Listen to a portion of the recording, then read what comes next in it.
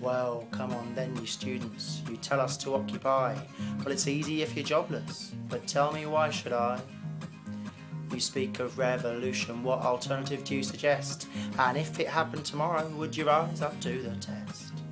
Well, it may not be the solution, but it's a damn good place to start. Reopen a closed down library to win the community's heart. And if you're looking for a hard working bunch, well, darn it, you needn't look any further than the folk in Friern Barnet. There's residents and activists living side by side, working hard to stop the council sell off privatise with safer spaces policies and trained volunteers on rota six days a week to keep the library for their peers.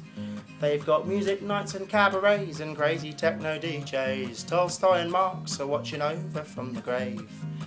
With tents in the back garden and mattresses on the floor, donated food and hoovers, what more could you ask for?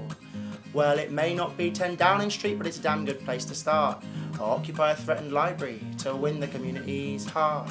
And if you're looking for a good book to read, well, darn it, why not head on down and join the folk in Friern Barnet? They talk about creating new jobs to kickstart the economy. Well, what use is a generation that can't even read?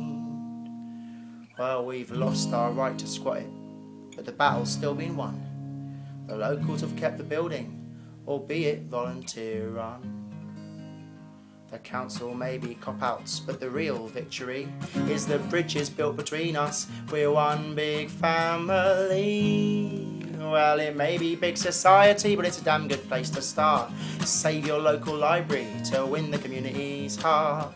And if you're looking for a public reclamation, well, done. take some inspiration from the folk in Friern Barnet.